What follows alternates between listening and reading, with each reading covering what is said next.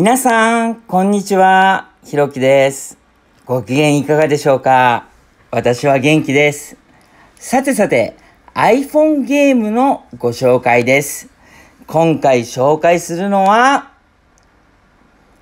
脱出ゲーム、駄菓子屋から出たい、再び、ということで、トリビアゲームのナンバーワンになっておりまして、レーティングが4.7ということで、楽しみですね。早速ゲットしてみましょう。はい、ゲット。はい、認証。はい。くるくる回ってますが、あ、ダウンロードしてますね。はい、ダウンロード完了、オープンはい。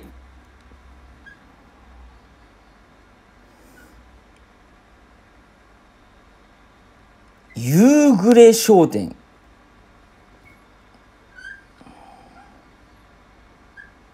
再びってことは続編なんですか？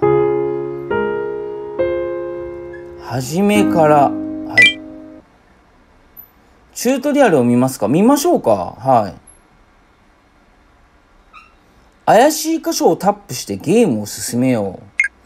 アイテムを選択すると使用することができる。選択したままダブルタップか虫眼鏡ボタンでアイテムの拡大。拡大したアイテムをタップでさらに詳しく調査。タップでアイテム同士の合成ができる。謎に行き詰まったらヒントを見てみよう。ヒントがあるんですね。はい。はい、チュートリアルは以上です。準備が整ったら始めよう。はい、ゲーム開始と。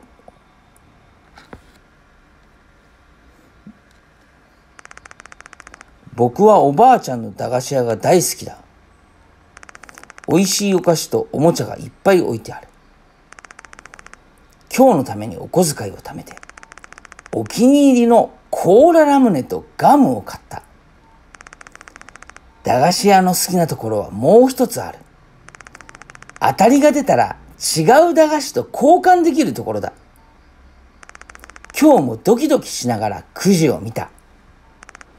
当たりやったー僕は当たらく、当たりくじをポケットに丁寧にしまった。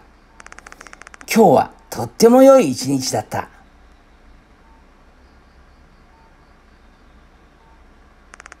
今日は悲しいお知らせをお父さんから聞いた。駄菓子は少し、少しの間休業するらしい。おばあちゃんの体調が少し良くないみたいだ。おばあちゃん大丈夫かな？僕は棚に置いてあった当たりくじを手に持った。またおばあちゃんの駄菓子屋行きたいな。この当たりくじを使うことはできるのかな？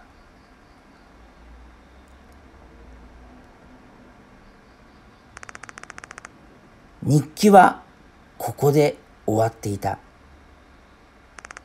あの日から数週間、数週間後に駄菓子屋は営業を再開した。でも、あの当たりくじはどこかになくしてしまった。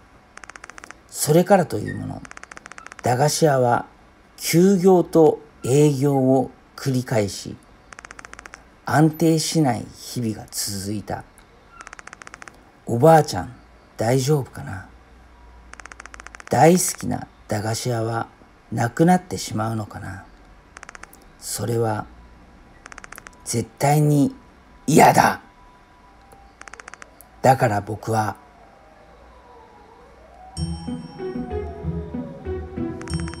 おばあちゃん僕にお店を継がせてほしい。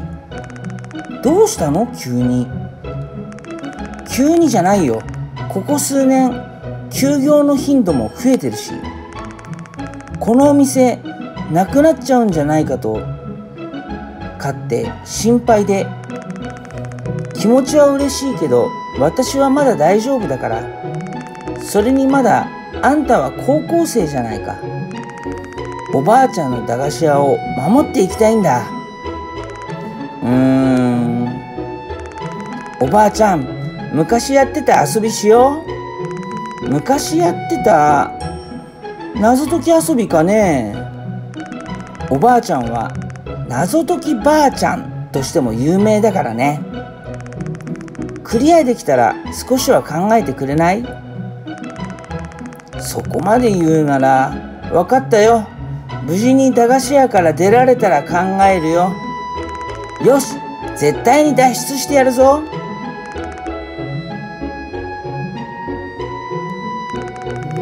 この子の未来もあるしそう簡単にはクリアさせないよ。久々に腕が鳴るね。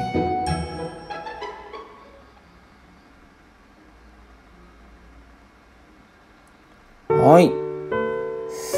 ここから動けるみたいですね。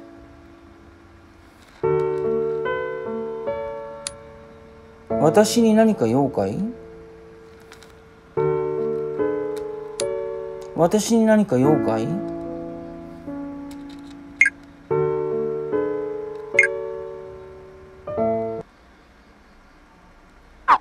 Oh, I know what you've been talking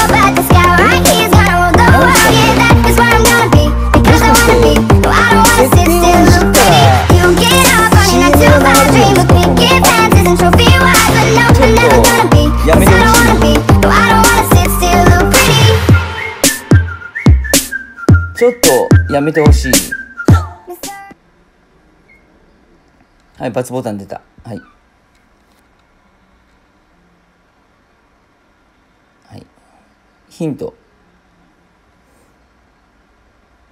はい。ヒント。短い動画を視聴後に見ることができます。見たくない。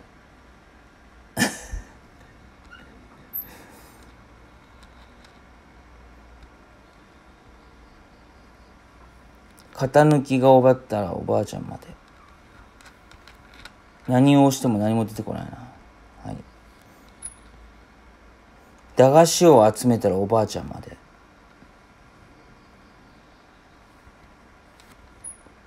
こも開かないですね。ガチャポン。ガチャポン。これお金入れないと何もならないでしょ多分。ね。これも何も押しても何も出ないですね。おコーヒードリンク。なんか赤とか紫とか色がついてるのがちょっと気になりますね。はい。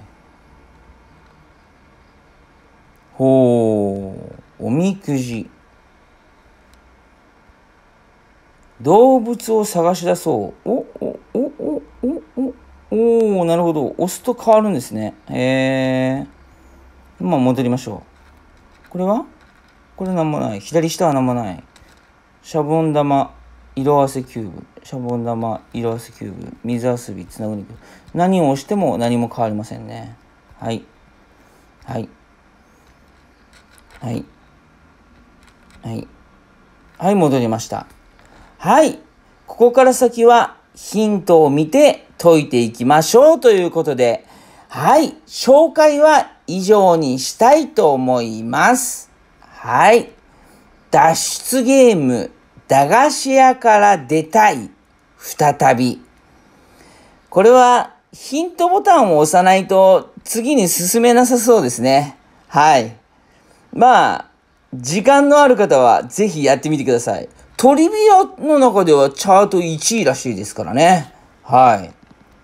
皆さん頑張って見てくださいよ。やりたい人はね。はい。ということで、今回の紹介は以上となります。また別の配信でお会いいたしましょう。さようなら。